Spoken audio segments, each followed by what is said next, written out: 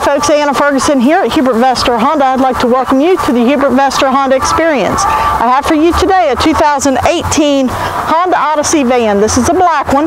It is the EXL version, which means it does have the uh, power sliding doors,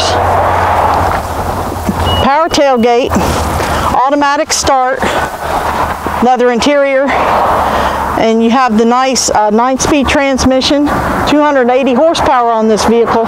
These vans do get about 28 miles a gallon. One of the nice features here is you can actually just slide these seats from side to side um, and push it over to make a little bit more room. Like to come out and show it to you. It has room for eight people.